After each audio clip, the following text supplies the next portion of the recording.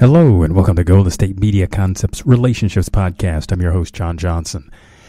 Today, it's going to be about the relationship to yourself. Learn about yourself. That's why I've titled this one in particular, because as we go through life, day in and day out, most of us just tend to take each day as it comes. And that's a great attitude to have. You're not going to let too much bother you, but you're just going to greet the day, enjoy it, ride it out, go to sleep, and reach for the next day. Now, there's something to consider.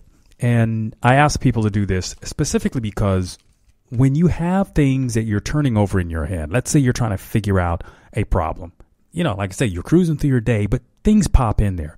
How do you solve your problems? Do you have um, a reference tool that you use? Is it your smartphone? Do you use an encyclopedia? Do you ask somebody for help? All of those are tools that you can use. Now, when it comes to learning about yourself, what do you reference? Is it a relative?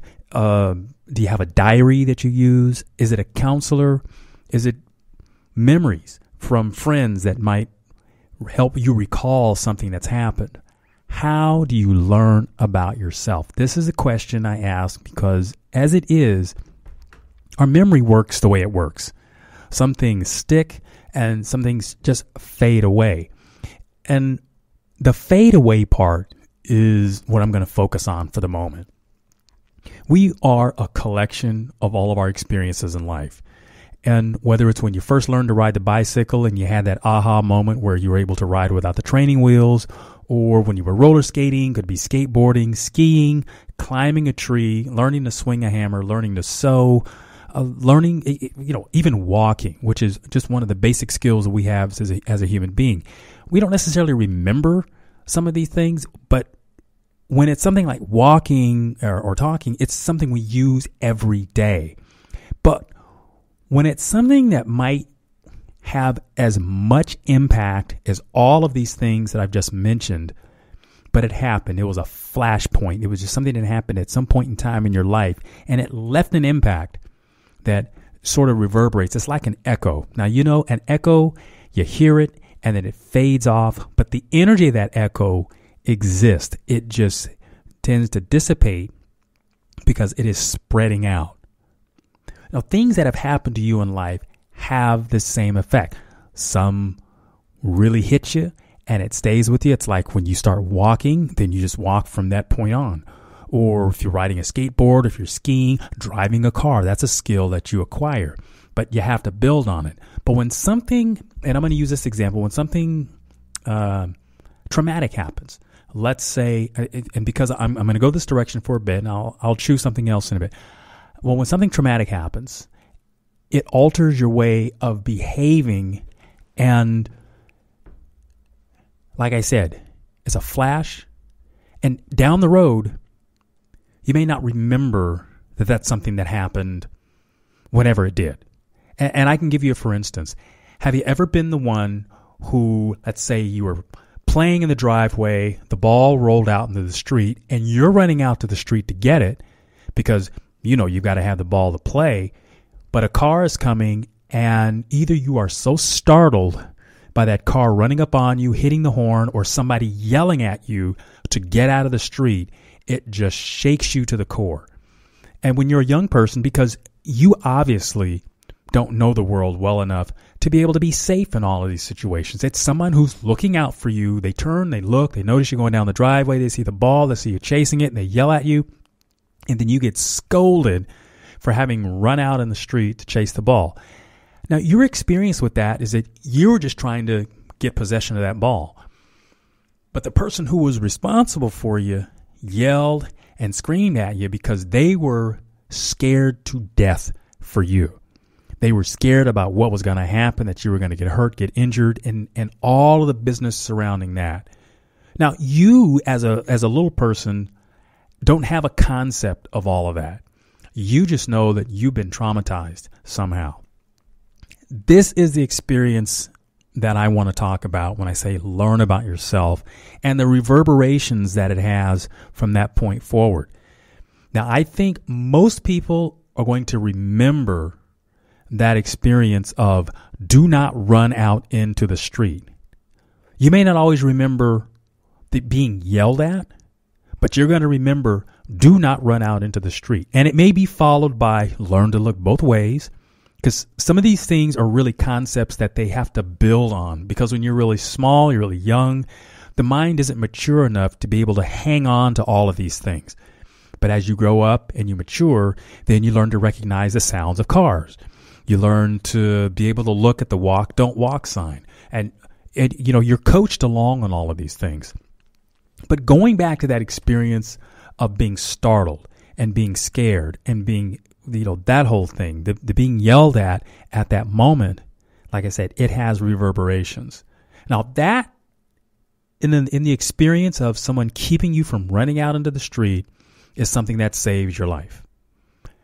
There are other kinds of experiences that hit you just as hard and maybe they don't save your life, but they definitely have a resounding impact on you. And it starts this thing of why you fear something. You may not even understand it. Let's say it's something that starts happening years down the road. Again, you get yelled at for something, you have an experience with someone, and it's almost like describing a post traumatic stress. Something triggers it. You may not have had an experience with a car in years, but it could be the example of maybe you were just walking, didn't notice that sign said don't walk, and you step out into the street, a car comes up, honks the horn, and you are startled, just taken right back to that childhood memory of being yelled at. And remember, you were a young person then, so you can't comprehend all of this drama that's going on around it. Those feelings are very, very powerful. And I'm going to talk about this in particular because if you happen to sense that you're having anxiety around something, and it could be, you know, you're an adult, you pretty much are in control of your life. But when someone starts to approach you in a certain way that seems to be out of your comfort zone, it's out of your control to even be able to do something about it. And I want to liken this to when you have the experience of being yelled at or or or being punished. How immobilizing it is when you get scolded, you're told that you're bad, you're not supposed to do this again. How could you ever do that?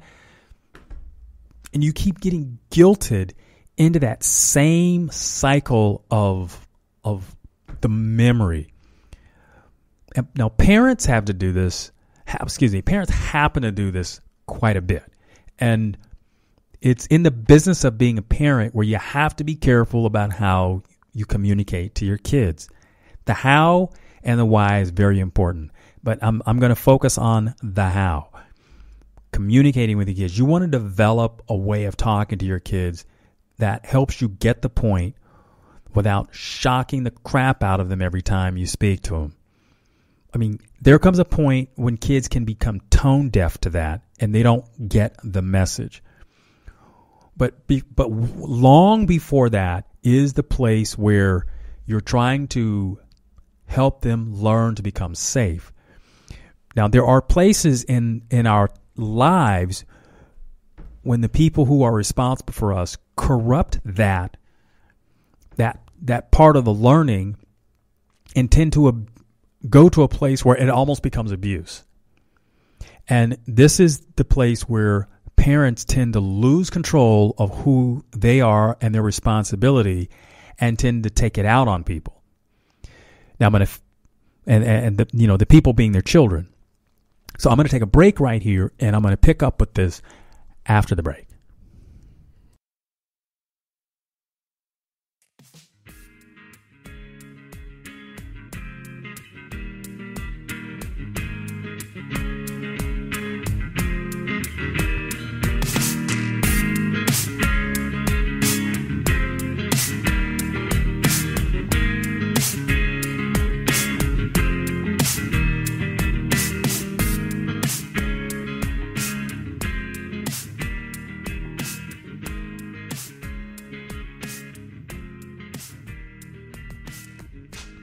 Hello and welcome back to Golden State Media Concepts Relationships Podcast. I'm your host John Johnson, talking about learn about yourself. Now, the reason I'm I'm bringing this up is because there are those of us out in in the world that have had some sort of of strong experience, and it has definitely changed us. It's changed how we perceive things, and we limp along with these interpretations in our in ourselves in our way of of reacting to stuff and we don't necessarily know why that anxiety about something exists. And it can be very, very, very difficult to process this on our own. So I'm going to talk about why counseling helps that. But I'm doing this setup here so that it might help you or help stimulate your memory into something that may have happened to you that you are now going to recall. Yeah, you know, I've had a little bit of anxiety with that. And, and, you know, I've never really thought about where that came from but you know, maybe that's affecting a lot more than I realize. And this happens to to lots of people. You may have anxiety about something and not realize it when it comes up. It's only after the fact because a lot of us they we, we avoid it. We don't even know we're avoiding it.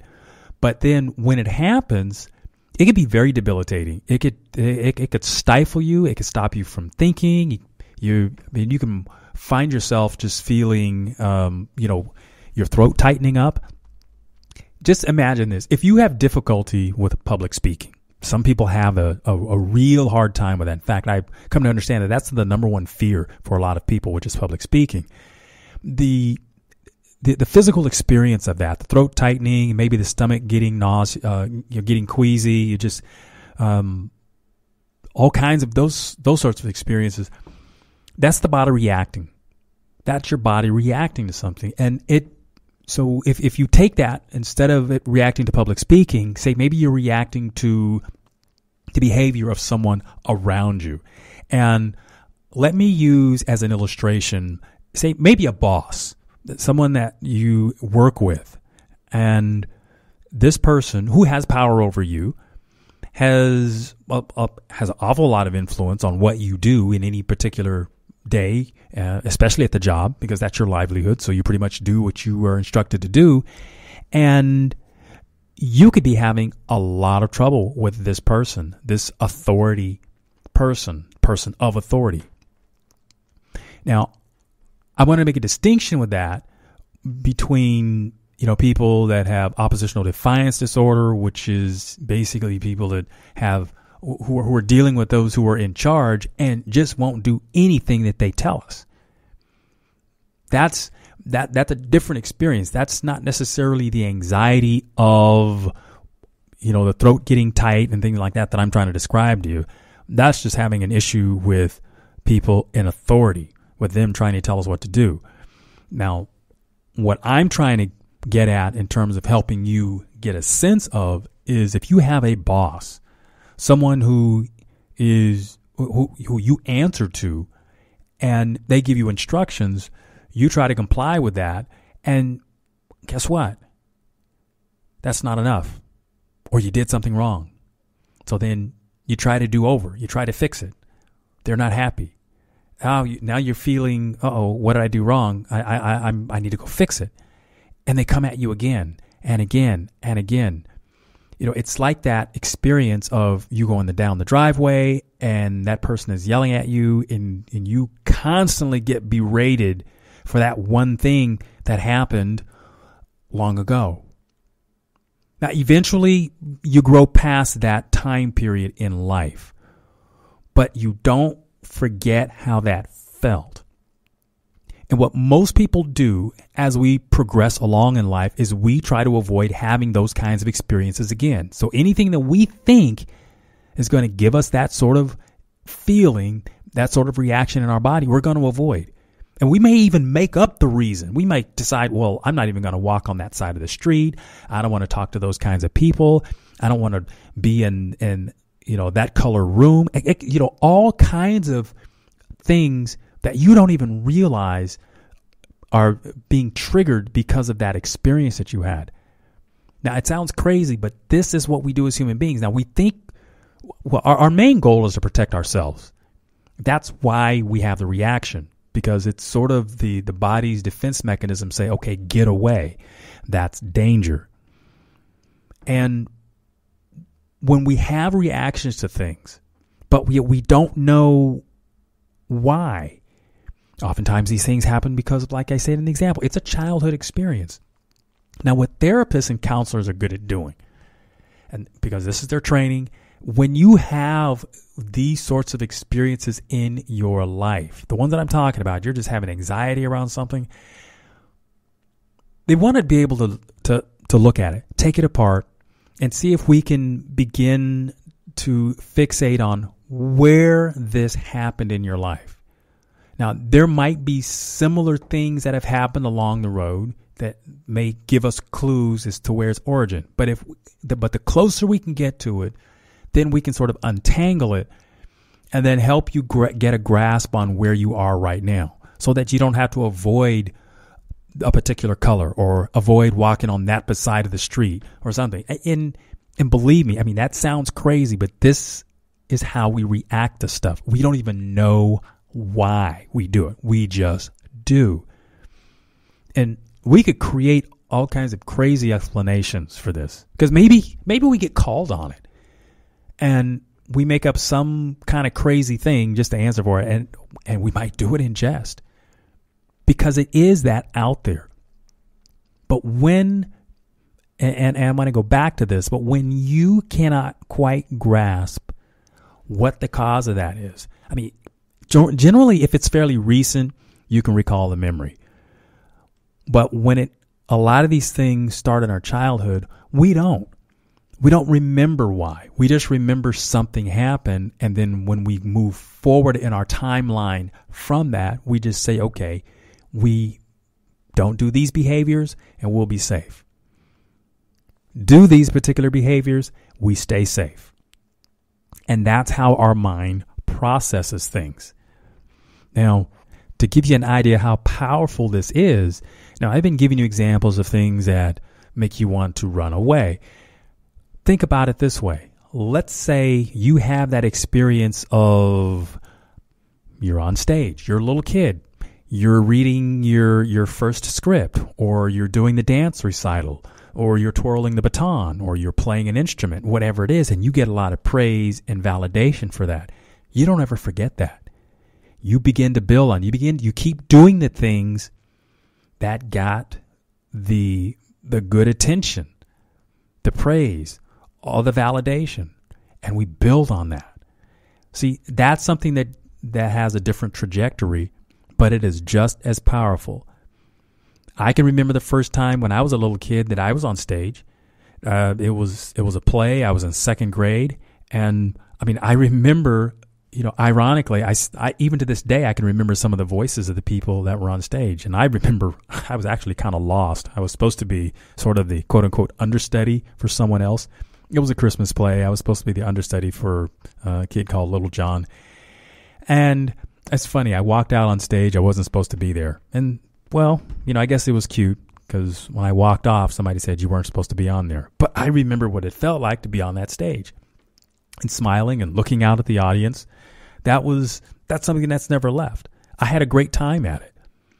And it's those things that we have a great time with, we tend to hold on to and sometimes we don't remember. But again, the, our ourselves build on this stuff.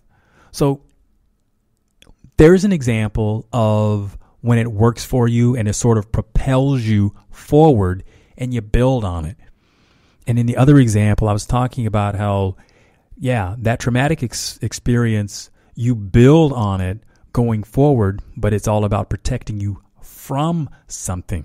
It's very powerful. I'm going to take another break and I'll be right back after this.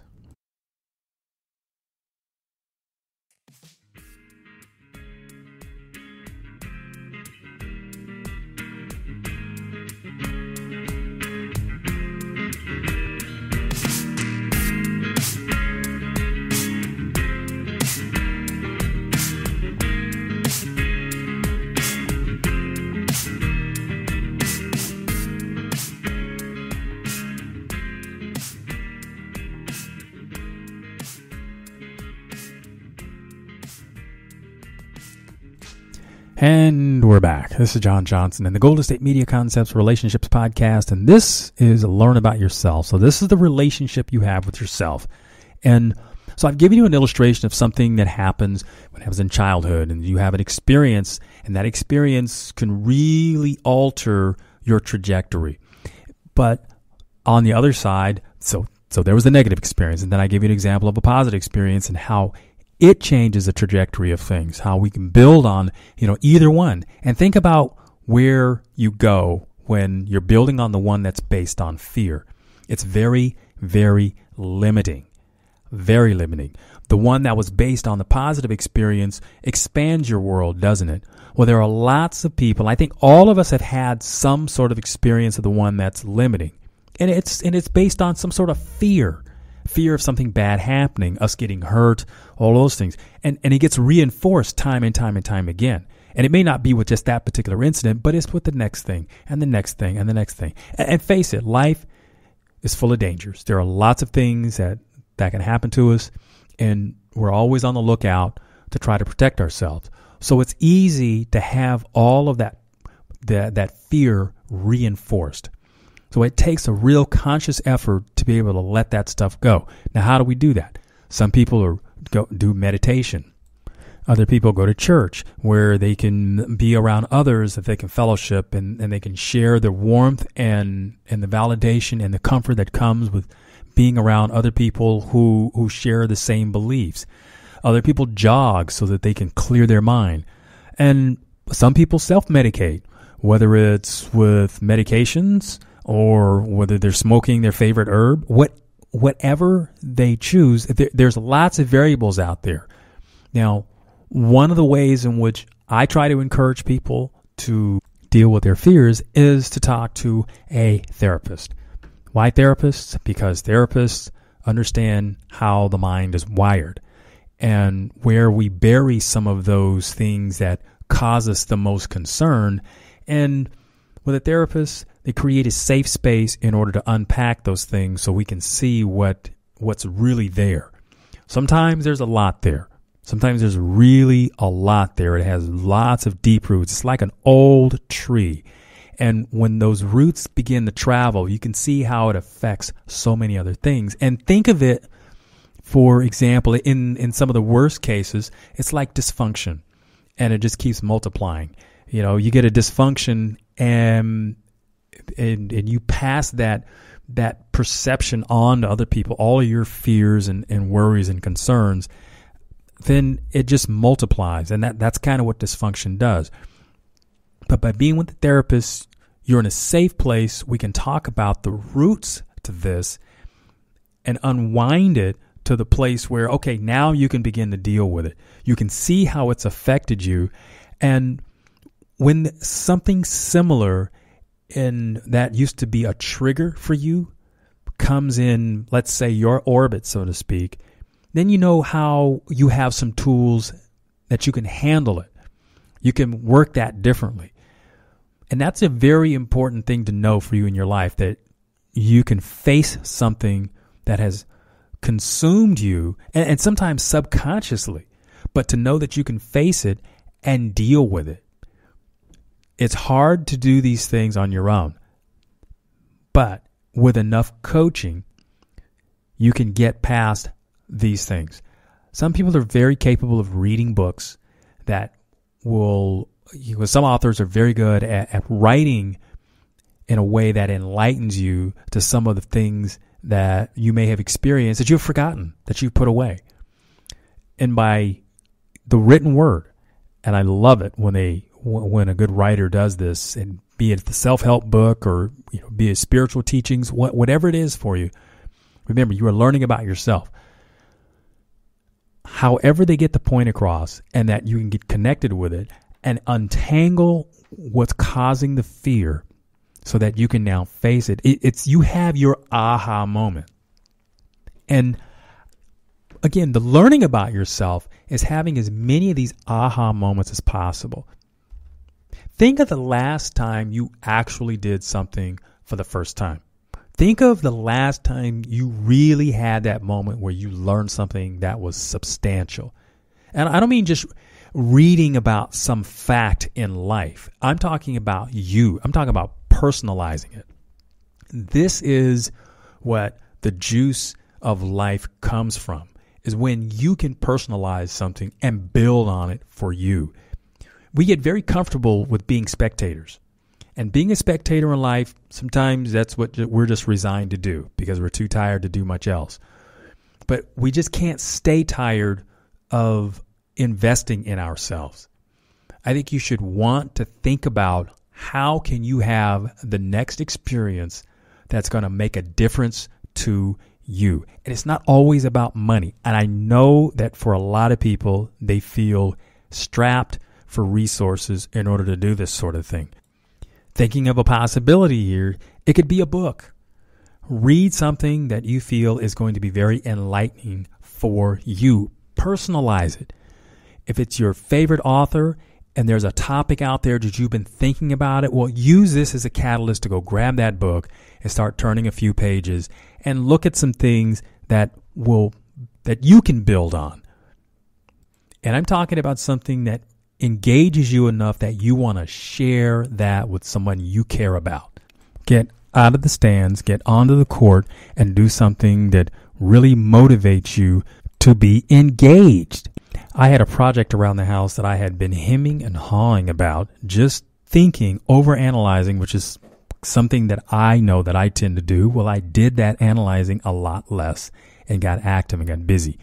Finished my project, and now I'm tickled death about it. I am motivated to go take on some other things that I have been thinking about. And I also now have the time to do it. I cleared my schedule. I have another example. I have a dear friend who needed to consult with some people about some aches and pains that they've been having. And for what it is, it was the fear of the worst kept them in the stands.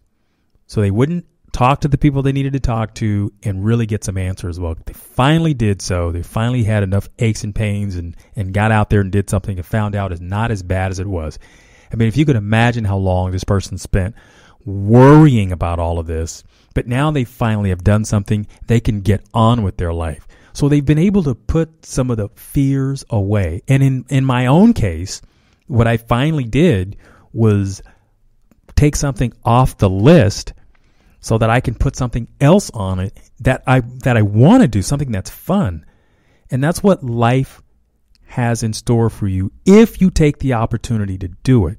I know a lot of us analyze things and we do that because it's a fear. And I realized that was my own problem is I was stopping myself from making progress and thinking about it was my excuse. That was my story. I had to keep thinking about it, processing it, trying to make it perfect. Sometimes you just have to put one foot in front of the other and figure it out along the way. And as far as why it took so long for me to get active, again, this, you know, we all have things that we have to work through. And I started to realize what some of mine were. And I've had failures that I couldn't explain. And because that happened, I was worried about creating a bigger problem than I had the skills to manage. Well, at this point in time in my life, I have a lot of skills to be able to handle these things so I can fear a lot less. See, think about it. When I didn't have the skill set to be able to handle these things, which was quite some time ago, I developed a fear for taking on new things. And now that I have lived long enough to deal with the stuff, I was thinking about it in the old mindset. So I've sort of advanced the timeline here and I've got things all in the same space. So when I take it on, I know I can handle it, I can deal with it, and then move on to the next. Give yourself the same benefit of the doubt. You can handle it, deal with it, face it.